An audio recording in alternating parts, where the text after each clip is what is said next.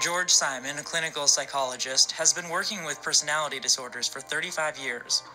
While he firmly believes in Goldwater, he uses clips of Trump to illustrate disturbed behavior to students. Since we have some dire foreign policy issues uh, percolating around the world right now, who are you consulting with consistently so that you're ready on day one?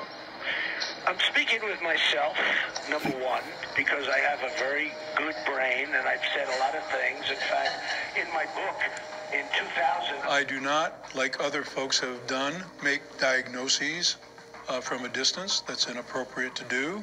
When I see certain behaviors, the grandiosity, the inventing of facts, I point them out as an example of the character disturbance of our time.